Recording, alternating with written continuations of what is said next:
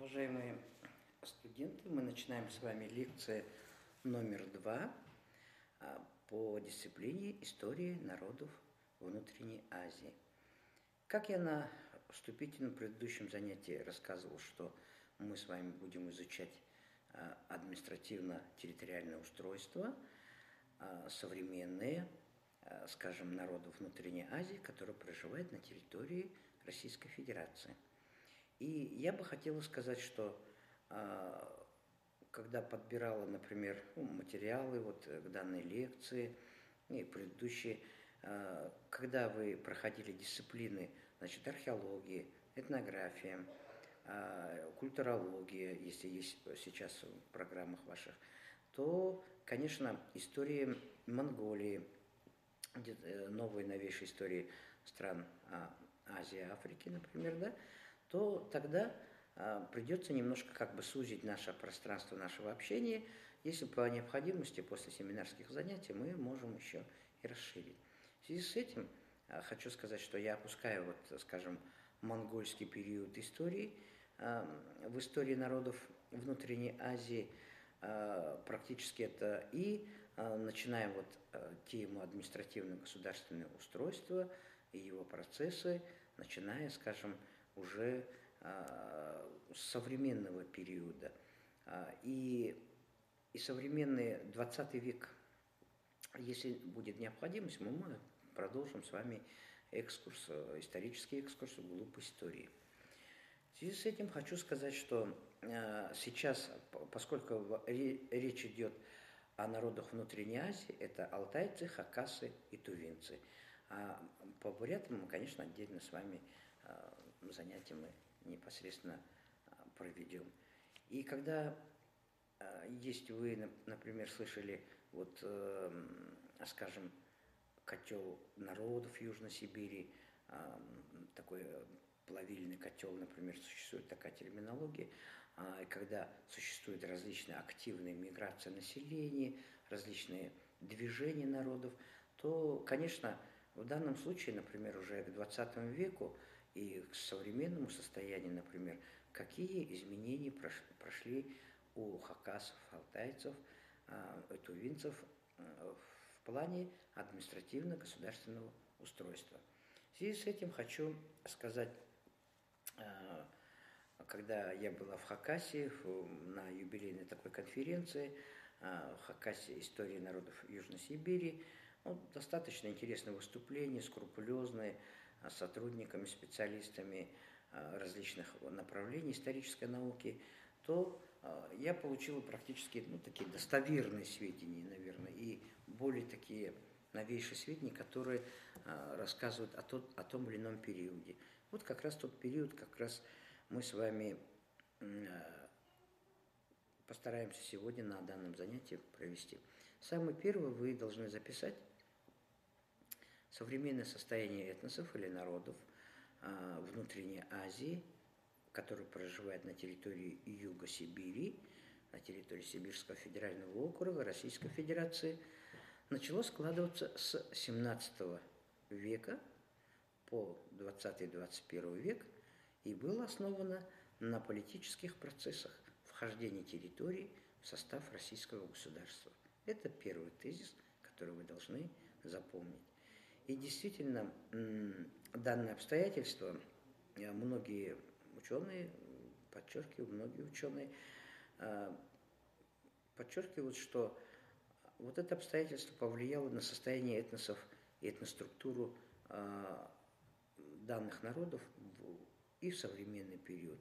Интенсивное межэтнические взаимодействия, политическое, административное как бы, управление – переселение, переселенческая политика царской империи, например, внутренняя, внешняя миграция населения, э, и в постсоветский период административно-территориальное дробление различные, например, да, мы знаем, что Бурятия, э, как сегодня Республика Бурятия, скажем, занимает территорию восточной части Забайкалья или или западная часть западного, э, э, западной Забайкалья, когда как раз и входило в состав, например, нескольких э, Забайкальской области, ну и так далее. То есть разные. Мы еще к Бурятии вернемся.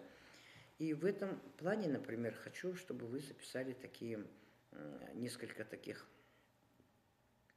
моментов. Например, в досоветский период территория Южной Сибири, то, о чем мы обсуждаем, находилась в составе Томской, Енисейской губернии, а также за пределами советского государства, например, как Тыва. И данный период как раз тоже характеризуется а, миграционной э, подвижностью населения, связанной вообще с переселенческой политикой. И вот, например, уже к 20 веку, что мы получаем в результате всей политики, мы не будем вдаваться, вот можно из истории России, вы знаете, можно очень много истории Сибири. И вот на территории современных республик отмечаются различные процессы по формированию административно-территориальных структур. Первый особый статус Народной Республики, как вы помните, получила Тыва в 1921 году, ранее она была названа Таннутува, которая была выделена с территории Енисейской губернии и вышла из состава Российской Федерации. Это 1920-е годы, начало 20 века. В последующем территориальном очертании получила Республика Алтай в 1922 году. А ранее она называлась Айратская автономная область. В результате отмежевания от Алтайской губернии. Сейчас, минуточку. Да. Да, да.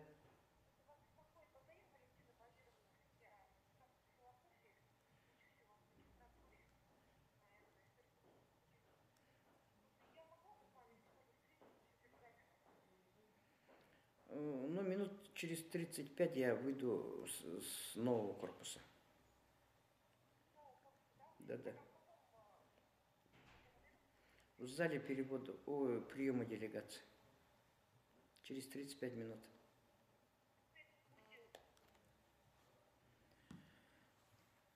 И таким образом, прошу извинить, э, Республика Алтай, как я говорил ранее, называлась э, Айратская автономная область. А Хакасия, как самостоятельная единица, которую мы на сегодня имеем, значит, да, э, на карте страны, Э, в статусе Хакасского национального уезда в 1923 году она уже входила в состав Енисейской губернии. Да, Юрий Борисович? Да-да. Я на записи. Угу, говори.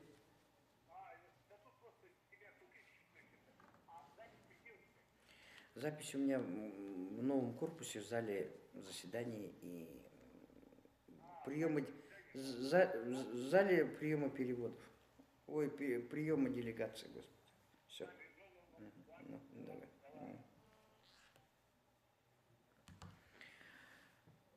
И в результате выделения крупных таких территориальных образований трех титульных наций народов а, внутренней Азии, например, а, мы понимаем, что произошло дробление и фактическое исчезновение более мелких групп. В связи с этим как раз один из исследователей а, истории шорцев вот как раз описывает, что на территории Южной Сибири, кроме хакасов, тувинцев и алтайцев, были еще а, представители шорского народа. И, например, вот напишет, что население Горной Шори, входившее ранее в Горно-Шорский национальный район 1926 года, было разделено между субъектами Российской Федерации. А данное территориальное деление казалось одним из э, таких факторов значительного снижения численности населения этной группы. Территориальные изменения внутри региона также приводят к снижению численности малочисленных национальностей. Ну, что Да-да.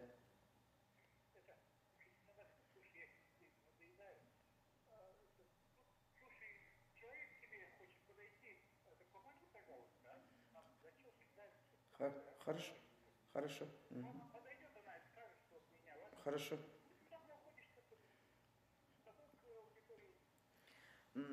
Новый корпус, первый этаж, зал приема делегаций. Да, да. Угу. Хорошо. А, и поэтому, например, а, ситуация такая, когда административно-территориальное деление, вывод мы делаем, которое приводит а, к месту компактного расселения этнических общностей, да, она приводит, конечно, к вымыванию, скажем, других небольших, может быть, этнических общностей, других народов. И поэтому вот этот пример, как раз, когда шор, шорцы, например, не получили такой уборной шоли, не получили своего ну, автономного, скажем, автономного государственного образования. Или же, например, и многие исследователи истории Хакаси, Тувы и Алтая пишут, конечно, о вымывании, что вымывается традиционная культура, язык, места компактного расселения, родовых расселений, значит, только после развития вот, или становления и развития административно-территориального устройства и оформления регионов Южной Сибири. И вот в связи с этим хочу сказать, что, конечно, этот вопрос, возможно, и болезненный, но тем не менее, а, когда идут э, такие административные преобразования, они всегда, вот, э, когда границы проводятся, они всегда имеют определенные последствия. Вот историкам нового поколения, например, да, я вам предлагаю, вот этот процесс а, тоже можно было бы изучить. Я вот э, помните по Иркутской области, скажем, какие могут быть, эм, какие могут быть э, деревни, какие исчезают, исчезнувшиеся деревни, села, например, да.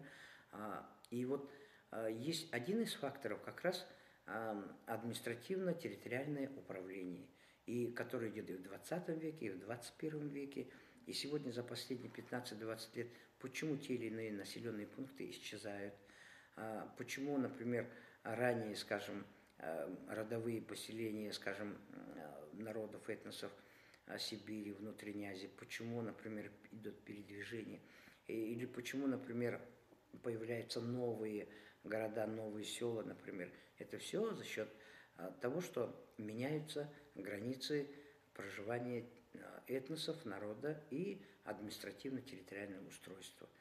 А, и в результате, конечно, это передвижение, миграции, а, и в результате промышленного освоения тех или иных территорий. И поэтому вот эти аспекты, например, они очень важны. И сегодня современному историку, конечно, как раз сегодняшний такой срез, я бы сказала бы, да, он достаточно вот, ну, интересен, наверное, и надо его изучать. Очень тон, это вопрос очень тонкий, который необходимо, э, э, необходимо изучать. А для того, чтобы правильно прийти к правильным выводам, я бы решила бы зачитать современное, современность, современное состояние численности коренного населения э, данных территорий внутренней Азии. Ну, давайте послушаем. Например, численность коренного населения Алтая внутри региона, внутри региона мы не говорим же о тех алтайцах или других жителях, которые за пределами этой административно-территориальной единицы. Внутри региона с середины 19 по, настоя... по настоящее время, это э, автор пишет 1858 по 2010 год, увеличился 4,2 раза. Причем за период последнего десятилетия отмечается рост на 6-7 тысяч человек. Запись. Численность всего населения Республики Алтай на 2010 год составляет 206,1 тысяч человек, а национальная структура преобладающих этнических групп представлена следующим образом. Алтайцы 33,3%, русские 55,6%, казахи 6,0%, теленгиты 1,7% и другие национальности. То есть в целом получается, что численность коренного населения Республики Алтай она увеличивается 4,2 раза, но и в то же время увеличивается численность а, а, миграционных потоков, численность населения других национальностей. Здесь как раз И видим, что русское население увеличилось с середины XIX века и в то же время представители других национальностей. Давайте рассмотрим следующий Туву. Численность тувинцев на территории Тывы за этот же промежуток времени 1865 по 2010 годы выросла в 16,6 раз. Что это означает? В частности, э, численность прибавилась на 13,9 тысяч человек, а общая численность населения ТВ на 2010 год составляет 307,9 тысяч, то есть 307 тысяч человек. И национальная структура представлена каким образом? Автор пишет, обладающих этнических, преобладающих этнических групп. Тувинцев составляет 8, 80,9%, русских 16, 16, 16%, тувинцев, тоджинцев 0,6%, хакасов 0,2%. Это практически новейшие данные. И мы получаем, что Республика Алтай, например, всего состав... население составляет 206 тысяч человек. Тувинцев чуть... в Республике Туван всего населения 307 тысяч. Мы, мы понимаем, что э, численность населения, значит, Иркутской области вы мне подскажете на следующем занятии – численность населения всего Забайкальского края вы тоже подскажете. А численность населения Республики Бурятия, мы знаем, что мы немного не добираем до миллиона человек. А практически по, э, по всеобщей переписи населения в начале 21 века почти было миллион с небольшим. А хотя вот миграционный отток, например, да, и упорядочивание по административно-территориальным единицам записи и так далее, да, она позволила сделать вывод, что у нас не достает до миллиона несколько десятков тысяч человек. Вот. А давайте дальше посмотрим. Численность хакасов со столицы Абакана. Я вот на предыдущем занятии говорил, что Абакан – это прекрасный город. А, что мы видим?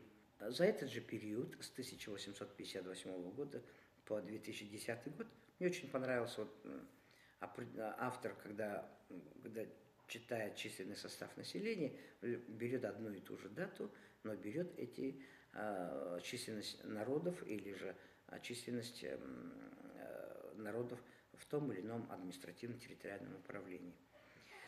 Республика Хакасия увеличилась, считает, что 1,9 раз за межпереписной период 2002 и 2010 годы – их число уменьшилось на 1,7 тысяч человек.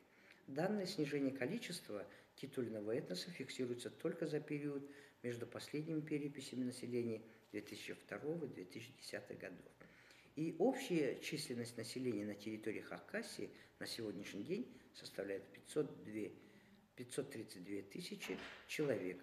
А национальная структура населения а, выглядит таким образом – это по состоянию на 2010 год. Это хакасы 1,9%, русские 80,3%, немцы 1,1%, украинцы 0,9% и другие. И изменяется, конечно, численное и долевое соотношение а, современных этносов а, на территории внутренней Азии в данных республиках республиках, краях. И вот почему так, например, а, получается, каким образом а, я позволю себе совместно с автором этой разработки, а, как бы для вас понятно, что 200 человек на 200 тысяч человек это горный Алтай, алтайцев, да, вот то есть вообще всего населения 300 человек это республика Тыва, и 500 э, с небольшим тысяч человек э, – это Хакасия. И вот, э, прежде чем мы будем делать такие теоретические выводы, я вам хочу одну такую вещь рассказать. Встреча с профессором кафедры истории, заведующей кафедрой истории России Тувинского госуниверситета года полтора тому назад, когда она вот рассказывала с болью, что необходимости проведения железной дороги на территории Республики Тыва, а, она сказала, что необходимо. Многие местные жители, особенно старики, а, не желают менять уклад жизни, а, потому что с железным конем, так скажем, с магистралью увеличится приток населения и э, изменится социальная структура населения, изменится традиции быт, изменится условия хозяйствования. А вот э, а я ее спрашиваю, а почему вы, э, Зоя Юрьевна, почему вы за Транссиб? Потому что я в Туве не была, а этим летом, возможно, мы поедем. Почему так? И тогда она сказала, что у нас население тувинцев, численное население, спадает. Вот есть э, и официальные данные, и неофициальные данные. А уменьшается численность коренного населения Тувы. И тогда сказал, может быть, были бы приток, например, мигрантов из наших, э, из, из России, пожалуйста, и были бы, возможно, мигранты из э, Китая. Тогда, может быть, наши девушки, она смеялась и говорит, может быть, будут выходить замуж, а наши юноши будут жениться на других жительниц других этносов и других территорий. И вот эта дилемма а, современного мира, и я помню, например, а, доклад вот это относится, я думаю, тоже к этой теме. Я помню лекцию профессора Никифора Петровича Ягунова а, где-то во второй половине XX века, когда он рассказывал, что по всем ну, данным, когда прокладывалась Транссибирская магистраль, железную дорогу, чтобы не проходила через степи скажем, хоринских бурят, чтобы через породные земли хоринских бурят, это были степи ровные, это старый московский тракт, э, очень удобный для прокладки Транссибирской магистрали, железной дороги. И что он не хотел, и, наверное, он так шутил, правда, наверное, он дал большую взятку иркутскому землемеру, и вот не прошло на Транссибирская магистраль намного южнее по таежной прогалины, по таежным частям, по горной части, она прошла через а, Южную Бурятию. А, современная Южная Бурятия, Транссибирская магистраль начала 20 века. И тогда я подумала, а что это хорошо или плохо? А, вот э, я не понимала, например, как историк этот момент, наверное, а понимала чисто символически, потому что я родом с тех краев, там, где не прошла Транссибирская магистраль. И вот, а, и когда я каждый раз голосовал, думаю, эх, на электричке бы надо поехать студентке пединститута исторического факультета. И вот а, этот момент, а, это правильно или нет, я даже не знаю. Но еще другой есть момент. Опасения стариков Тувы тоже оправданы. Я тоже в какой-то момент, когда видела загрязнение всего побережья Южного, Южного Байкала представителями дикого туризма, я тогда подумала, может быть, не стоит прокладывать хорошую дорогу на восточном побережье Байкала. Может, тогда сохранится, а, пусть это архаичное, а, пусть не очень удобное, комфортное, а, деревни, села восточном побережье Байкала. Ну вот, э, не знаю, где правда, и, наверное, и вывод такой вот, личностный такой вывод, вы, может быть, со мной поспорите, подискуссируем. А, в глобальном мире, например, сегодня, когда мы хотим вот замкнуться в своей собственной скорлупе, а, конечно, мы будем отставать. И поэтому а, в своей скорлупе территориальном, этническом, культурном, как угодно, потому что сегодня, наверное, надо быть, чтобы мир был для нас открыт, и мы открыты для мира. Но это мое личное мнение. А выводы, что касается исторического прошлого и настоящего титульных народов внутренней Азии, касаемо, мы только с вами рассмотрели административно-территориальное устройство алтайцев, хакасов и тувинцев, а, значит, вывод можно сделать таким образом. Я все-таки позволю обратиться к авторскому тезису, Историческое прошлое и настоящее титульных этносов внутренней Азии позволило выработать общие особенные черты в развитии объекта сформировать специфическое демографическое поведение. Компактное расселение и географическая закрытость территории проживания, близость к азиатским странам оказались важными факторами развития, э, развития этносов. Определенная, автор пишет, стагнация этносов. Благоприятная ситуация, благоприятная ситуация по сохранению и развитию этносов сложилась в Тыве и на Алтае.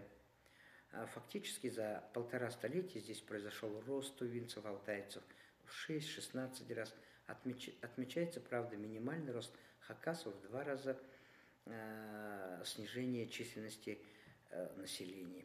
Чтобы иметь полное представление вот о положении населения, всего, конечно, нужно рассматривать в более широком контексте, а не только брать узко административно-территориальную единицу – как Республика Алтай, Тыва и, Хака, и Хакасия. Но тем не менее, конечно, э, сегодня вот когда данные цифры мы смотрим, например, это наши источники нашего исследования, то э, действительно э, есть проблемы. И проблемы они имеют, и как развивалась территория и народ в прошлом, прошлых веках, и как сегодня. И каким образом сохранить вот Эм, историю и культуру народов и численность, прежде всего, это одна из глобальных задач нашей современности. Спасибо за внимание.